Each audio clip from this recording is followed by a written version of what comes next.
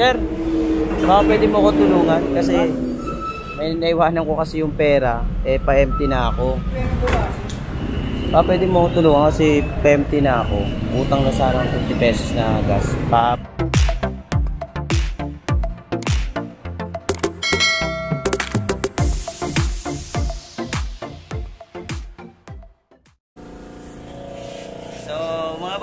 shoutout ko lang muna itong mga customer natin na galing sa, ayan, Sana. Tana. Pangalan nyo tayo? Benji. So, Sana. Subscriber, tapos, Customer na. customer na kayo. Okay, Ah, Facebook sir. Oh, salamat. Ano motor nyo? Sporting. Mark? Alright. Saan mo na pa doon? Facebook. Facebook din. Mayabang! Mayabang! Marami tayong... So, welcome back again mga boss sa ating YouTube channel, Helbert Flores, uh, Window Shop. Ah, ngayong araw mga boss, ah, gagawa ko ng social experiment o prank. Pero kakaiba to kasi ah, ang prank na gagawin natin mga boss, ah, lalapit ako sa mga gas station. Nawalan ako ng gas, ah, baka pwedeng umutang ako dun sa boy. Sasabihin ko na baka pwedeng pautang muna ako ng 50 pesos. 50 pesos na gas. Tapos, kung pag napao natin siya, talagang aaktuhan niya na lalagyan na tayo ng gas, yung 50 pesos niya, gagawin natin 200. Pero siyempre, hindi tayo magpapagas. Kaya ano, sa mga gasoline boy na napakabait, na titignan natin kung paano sila mag-react sa mga tao talagang walang gas. Paano kung walang gas talaga.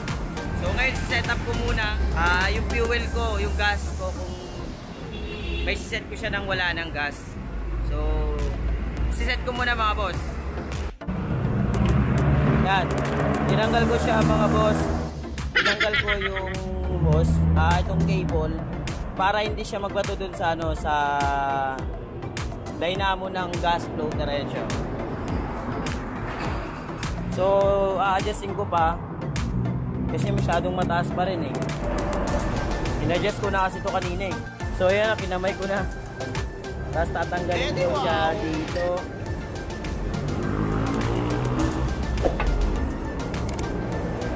At ayun na. Wala nang gas. so, let's go mga boss. I-mounting ko na to sa ano, umakit.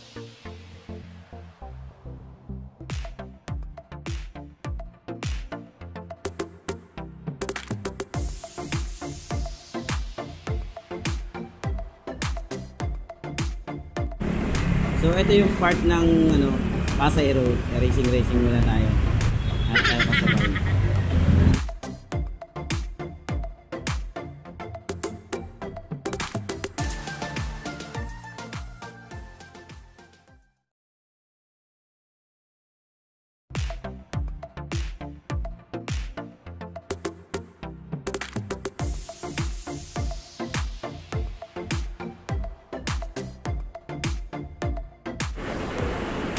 Stock. Nakakalkal dito. Salamat sa dyan. So may unang gas station dito na madadaanan. Meron tayong madadaanan ng unang gas station. At sana mapansin siya at matulungan din ang iba. So let's go ito na. Petron. So unang gas station, Petron. So yun mga boss. Yan yung una. So hindi ko naman masisisi si kuya no. Na hindi niya tayo pagbigyan. Pero sabi ko nga sa inyo, bihira yung mga ganun tao. So magiiwan ka ng ID. Paano pag driver's license na lang ang meron ka tapos iiwanan mo pa. 'Di ba?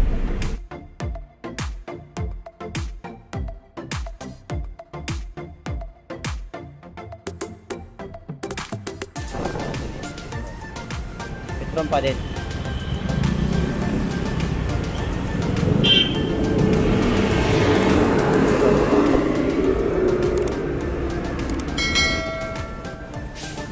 Sir, baka pwede mo ko tulungan kasi may naiwanan ko kasi yung pera, eh pa-empty na ako. Eh pagkakalokan pa, kahit 50 pesos lang. Kahit 50 pesos lang. Papa, pwede ako maano ng gas, kahit 50 pesos lang. Pera. Oo. Kahit balik mo na lang sana. Baka kasi mabitin ako pa Caloocan eh. Eh, sira kasi yung floater ko eh. Kahit 50 pesos, sir. Iwan na lang ako ng ID, sir, kung gusto mo. Wala akong pera-pera, pag-aay ko lang din. Habang kain na lang. Kain ko ng 50. Ah, sige, sir. Try ko na lang muna sa iba. Hindi, gas naman, sir, yung ano, hindi naman pera eh. Oo nga po. Babayad ko po Ah. Sige, sir, sige, sir. Thank, thank you, sir, thank you. Na. Pa, paano, mag-iwan na lang ako ng ID? Sa, sa'yo, kayo na lang mag-ano? Ayan si sir. Sabi sa'yo, sir. Actually, actually sir, ah, experiment ko to sa mga gas station na willing magpa magpautang kahit 50 pesos. Ngayon, sir, ganito. May pamilya ba, sir? Pangalan mo, sir? Erwin po. Erwin Santiago. Vlogger po ako, sir. Hmm, vlogger. So, ito sir, experiment ko. Kumbaga kung may magpapautang sa akin. Kasi usually, ganun ang nangyayari. Wala na ako ng gas, wala ako sa inyo. Ah, pero, willing mo ako pautangin ng, magkano? 50 pesos. Pangkain mo? Opo. Sino mo? Ay, ito lang po kasi Oh, boss, eh. pangkain niya na lang to ha. Oo. Sir, ganito. Kahit pinautang mo ko, dagdag mo sa pangkain. Hindi, sir. Hindi, sir. Hindi. Dagdag mo sa pangkain. Thank you po. Ang pangalan mo, sir? Erwin po, Erwin Santiago. Yung po number mo. Ah, ako nga pala si Helbert Sir Window Shop. Mm. At the same time, I experiment ko to sa mga tao. Salamat po. Salamat. Kunin ko number mo, sir. Ah. Yan mga boss ha. Ah, hindi ko sinabi na dumaan ka dito para mag mangungutang ka ng gas. Kumbaga, nakatsempo tayo ng isa. Yan, si sir. Ang pangalan mo? Erwin po, Erwin Santiago. Erwin Santiago. Santiago, no? Santiago. Taga Bulacan ka? Opo. Subscribe ka sa channel ko sir. I-upload ko to ngayong Okay, gabi. sige po. Ano pong, ano po? Window shop. Window. Shop. Window shop. Sige po. Ah. Okay. Subscribe ko na po. So yun nga mga boss. Shoutout kay Erwin Santiago.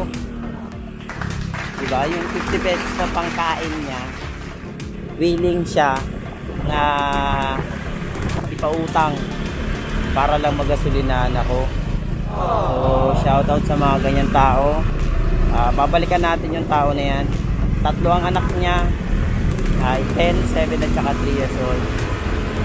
So, gagawa tayo ng paraan na matulungan natin yung mga ganyan tao mga boss. Ah, hanap pa tayo. Hanap pa tayo ng isa pa. Dalawa ang gagawin natin for this day. Dalawa, dalawa na mapa ano, mapa-oo natin. Sana sana maraming tao mga ganun na willing silang magpautang, willing silang ah, ibigay yung meron sa kanila. Alam mo gantiin ng Diyos yung mga ganun tao. Kahit prank ko ito ah, yung bukal naman sa kalooban nila na tumulong ba? Pero kailangan nila yung assurance di ba? Kailangan ko ng ID nga pala. So yun mga boss Ah, Erwin Santiago shoutout sa'yo sir Petron may ganyan kayong mga tao Ah, alagaan nyo yan sana irregular nyo na nga yan eh, yung mga ganyan tao eh ba So, okay na tayo sa Pasay. Ah, Makati pala to. Makati. Makati pala to. So, yun ulit mga boss. Hanap naman tayo sa Manila naman.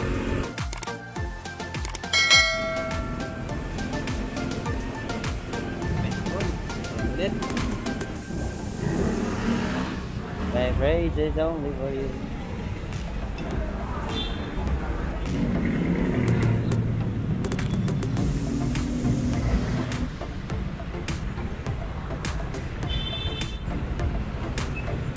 Buti hindi na napapansin yung camera. Ah, yes. Wow! Pa, pwede mo ako tulungan kasi empty na ako. Utang na sana ng 50 pesos na gas. Pabulakan kasi ako eh. Baka pwede. Balikan ko na lang. Lagi naman ako dumadaan dito. 50 pesos na babalikan ko na lang. Iwan na lang kayo ng ID. ID. Wala na ako na. So. Boss, boss. Sagit lang. Hindi, sagit lang. Hindi, joke lang to. Ginagawa mo. Wait lang. Harap ko. Yun. Yun boss, yung ano. Boss, ano pangalan niyo boss? Ano pangalan niyo? Liza po. Yun. Ah, papautangan niya ako ng 50 pesos Ah, sabi ko wala akong load. Ay, wala akong gas. Ah, social experiment ko ito. Prank ko din to. Naghanap ako ng pwede akong pautahan. Kasi alam niyo naman, di ba? Nawawala ng gas. Yung iba, ang utang. Iba naman tumatakbo na talaga. Ito prank lang. Joke lang. Dahil to? Guys, ako. Guys, sa taga saan kayo? Ah, taga Masambong lang. taga Masambo. So dahil papautangin mo ako ng 50 pesos, gagawin ko 4 times yung 50 pesos na papautang mo sa akin. Pero magpapatest din ako. Ah, ito. Actually, ito kasi, Sir, kasi nagmumotor dito. ah, nagmumotor ka din. Ano ba ano? Ano motor mo? Mio ko yung gamit ng motor. May ah. Siyempre na, parang naisip ko sir na, case na maubusan din kaya ako wala akong pera. Tama. Kasi ganyan ang tawag ko. Tinanggal ko, tinanggal ko para mawalan talaga ng... Pero patagas ako sandaan ha. Ano? Ah, ano, XCS, tandaan. So yun mga boss. Ah, sana maraming ganitong mga pwedeng tumulong o ano. Eh, sama na ba kayo? Wala po. Pamilya mo, shoutout mo. Ah, kayo na lang sa mga tropa ko dyan. Ah, tropa. Taga Masambong. Opo, taga Masambong. Subscribe ka sa channel ko, mapapanood mo ito mamayang gabi. Window shop. Yan. Sana marami pang mga ganyang ano, gasoline na nag-askaso na pag walang gas, magagawa nyo ng paraan. Diba? So, shoutout sa iyo po ha. Kaya makakalaga. So, yun mga boss. Ah, nakailan tayo ngayon? Anim yata. Pero dalawa lang yung yung di ko sinasabi na hindi pusong gintuan ng mga taong iba.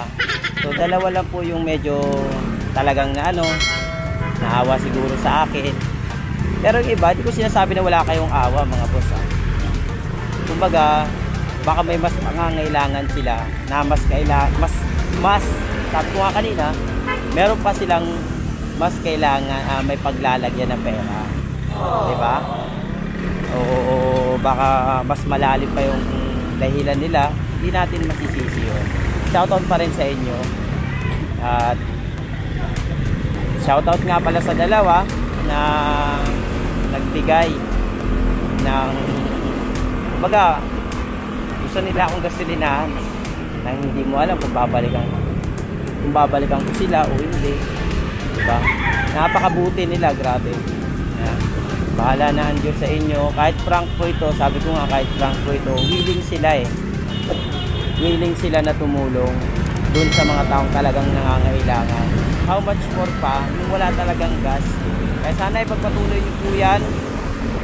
At gantiin kayo ng Diyos sa kabutihan ng kalooban nyo bahala ng Diyos na gumanti sa inyo hindi man kayo ganti ng ibang mga tao sa mga kabutihan nyo. Ah, ang importante yung magagawa ng Diyos.